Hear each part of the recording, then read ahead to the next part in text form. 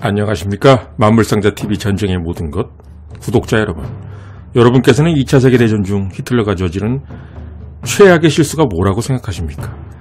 여러 가지의 실수가 있었겠지만 우리가 잘 몰랐던 또 잘안 다뤄졌던 치명적 실수가 있었습니다.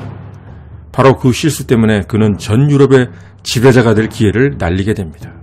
1941년 3월 히틀러에 맞서는 국가는 오직 영국이었으나 그들의 저항은 너무 미미했습니다.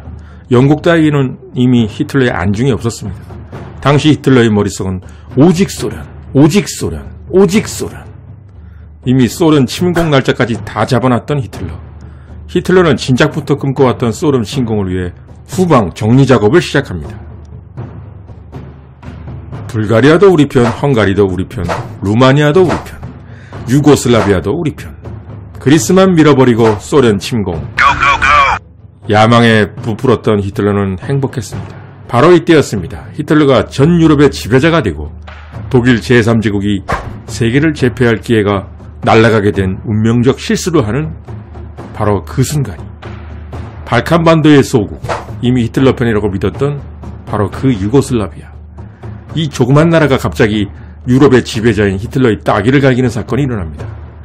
아마도 히틀러가 2차 대전 기간 중 가장 화가 났을지 모를 이 순간 마치 삼국지에서 유비가 복수심에 불타올라 관우의 원수를 갚기 위해 모든 걸 다 제껴두고 오나라를 친 것처럼 그래서 이릉대전의 불바다 속에 모든 걸 날린 것처럼 히틀러는 발작적인 화긴 명령을 내리게 됩니다.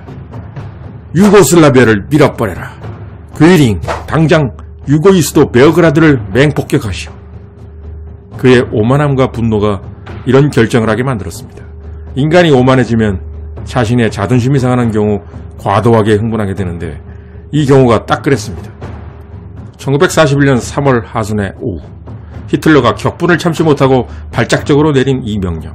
대체 왜 이것이 히틀러 통한의 실수였을까요? 그리고 앞으로 2차 대전 전황에 이 결정이 어떤 영향을 두고두고 미치게 될까요? 본 영상에서 모두 밝혀드립니다. 그리고 비록 나치 독일 SS 부대의 활약이긴 하지만 이 과정에서 벌어졌던 한편의 대작 액션 영화보다 더 영화 같았던 나치 독일 SS 정찰대의 말도 안 되는 기상천외한 활약을 함께 소개해드릴 예정입니다.